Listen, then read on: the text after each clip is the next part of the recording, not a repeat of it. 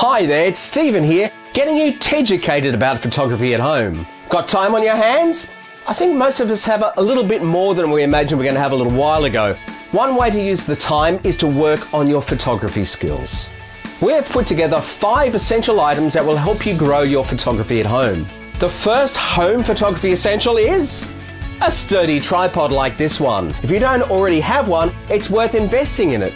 A tripod is a great way to cheaply and easily cut down image blur caused by camera shake. It's also a great way to improve your compositional skills. A tripod allows you to slow down and make minor adjustments which can have a major impact on the quality of your photographs. Another essential item is something you'd add to a tripod. It's actually a phone mount. If you don't own a DSLR or mirrorless camera, you can still improve your photography skills using your smartphone. This accessory enables you to take photographs that are your own. Like a tripod, a phone mount reduces blur and adds in compositional skills, but can also help you tackle more advanced shooting styles such as time-lapse photography or slow motion videos.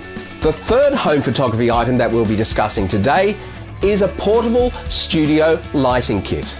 One of the major obstacles of home photography is a lack of light, and this item is a great way to combat that. With this, you can get the family and pets involved, using them as your models as you experiment with different lighting techniques. You can also try your hand at product photography or still life photography on interesting household items like this. And you can have endless fun taking all range of photographs of things like bananas, which is deceptively tricky to master, but you have time on your hands. Fourth on our list is a simple and very effective tool, the remote control. Many newer cameras have Wi-Fi connectivity, which generally mean you will be able to use your smartphone as a remote, so you won't need this accessory. But everyone should take note, if you're shooting time-lapse or long exposures, a remote control is absolutely essential. The ability to fire your camera from a distance means you won't bump it at all, which is really important during long exposures. Another reason we love remote controls for home photography is it lets you get amongst your family and friends and be involved in the photographs rather than just existing behind the lens. The last essential item that you can use to grow your photography at home is a macro lens.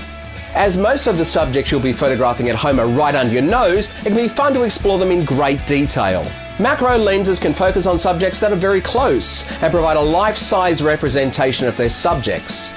A great way to pass the time is getting out in the comfort of your own backyard looking for leaves, flowers, or small insects who are willing to pose for the next shot. The fresh air will do you some good too. Far from being one-trick ponies, macro lenses are known for their impressive sharpness and bright maximum apertures, which allows them to double as portrait lenses as well. So that's our essential list of items to grow your home photography. As you can see, there is no shortage of gear and techniques that you can explore for the comfort of your own home. Want to know more? Head to teds.com.au slash blog or keep updated by subscribing to TEDS on YouTube or following TEDS on Instagram at TEDS underscore cameras for all the latest education. See you soon.